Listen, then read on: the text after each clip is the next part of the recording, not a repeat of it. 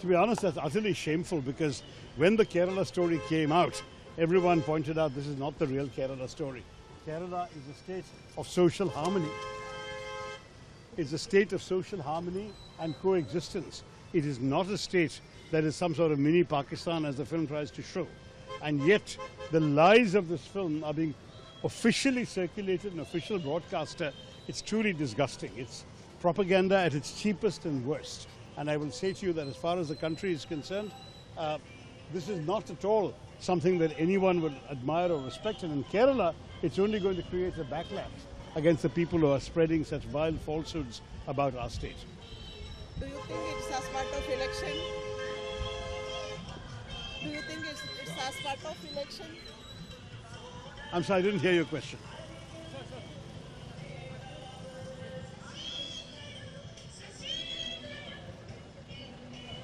It's part of a move from the Oh, definitely, no question about it.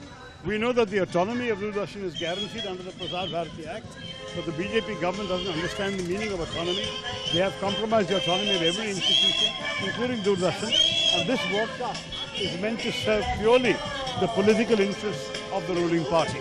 And people can see through that. Keralites are educated. They're not going to be easily fooled.